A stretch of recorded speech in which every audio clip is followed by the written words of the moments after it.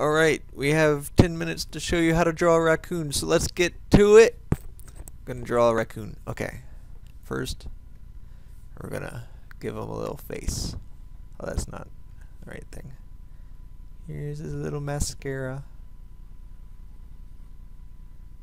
Oh, he's looking cute already. Drawing is so much fun. Got a, a nose. He's cleaning himself. Cleaning himself. He's trying to get that lobster out. He's got cute little ears. Now, it could go anyway right now. We could go panda. We could go uh, polar bear. We could go lemur. But we're going raccoon. There's a very specific way to make sure he's a raccoon. Alright. And let me give you a clue. It involves these things on his tail. Alright. he's officially raccoon. And then uh, we'll give him belly. And then, uh, let's see. I think he needs a longer kind of snout nose. Not that's not a whisker. It's a snout. And see. I think they got like additional stripage. So we're gonna give them some of that. But I'm sure that a lot of that's just genetic permutations. This is like their gang signs. They're like, oh, based off of your stripes, I'm guessing that um you ain't from here, so don't come here. Why don't you go clean your food somewhere else? And then there's like raccoon gang warfare and documented in uh, Japanese um anime. And see he's got claws to defend himself. And um oh he's so raccoony. Okay, and then we're not gonna cover the belly because you know you gotta kinda like keep like a belliness and um, let's see, whiskers will be good. Right. We've got ourselves a raccoon. Now we're to give him green eyes because raccoons prefer to um oh wow I have so much trouble moving the layers raccoons uh come out at night Wait, no, I don't want it. No, that's not what I wanted to do at all. Raccoons like to come out at night. They're night creatures. I'm a night creature. Nocturnal. He's nocturnal. Someone called him Turnal. He was like, I'm nocturnal. Look at that. Yeah, he's like, he's kind of, he's kind of introspective for raccoon. He's been thinking about how his life is going.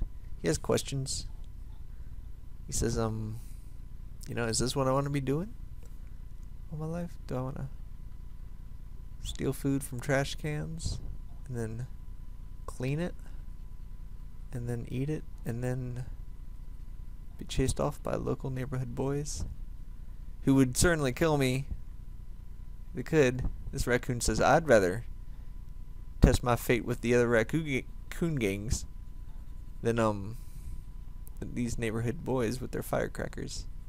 I don't blame them. You know. Okay. So, see, we got six minutes left. So we're in good shape. Um, I don't even know if rac raccoons are brown, but this one is. And, uh, so now we got to give them more stuff to do. Uh, because we got time. And what do, let me tell you something. Raccoons they love the trash. They love trash cans. And so trash cans are really just Greek buildings that have been surrealized. Right? And then here's a here's a neat tip. If you want to make something look high, uh, make it bend up instead of bending down. Because if you bend it down, it'll make it look low. But you didn't know that. That's why I'm here to show you how to draw a raccoon. You didn't know that you're going to get a trash can lesson. It's just part of the deal. Lucky. Right. Oh, this is the moment of magic right here for the raccoon. He's like, Dude, I smell something. I smell I smell fish. I smell there's a scent there's a definite fish scent coming from that trash can, says the raccoon. And I am smelling me some fish right now. There's definitely fish coming out of that. There's definitely some dead fish in that trash can. There's no doubt about it. As a raccoon, I am familiar with the scent of dead fish. I have eaten many a dead fish that has come from a trash can, and that is, you know, that that dead fish, if I am not mistaken, was eaten with celery. Because I definitely get the scent of celery with that fish, and that's going to make it all the more pleasant, says our raccoon friend. So, we got this scent of fish coming out here. It's good. And we got four minutes left, so we're doing real good. Okay, and then I'm going to lower the opacity of that layer, so it'll be a scent. Just a scent. And then, let's see, uh, I'm going to make that trash can gray, but I'm also going to rust it a little bit.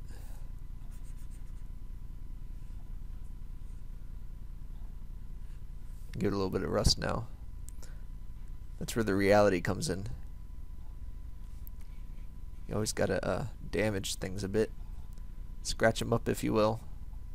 Man, finding the right color for rust is kind of difficult. I'm gonna use this. I'm gonna use this um purplish. Man, that's a rusty trash can. That trash can looks like it's gotten some good use out of it.